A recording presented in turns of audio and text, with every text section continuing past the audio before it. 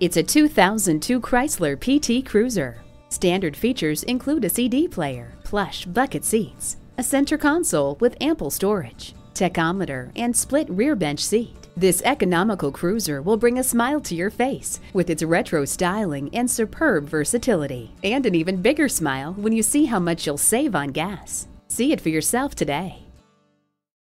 Choose Sheboygan Auto. We're conveniently located at 3400 South Business Drive or at 2701 Washington Avenue in Sheboygan, Wisconsin. SheboyganAutos.com.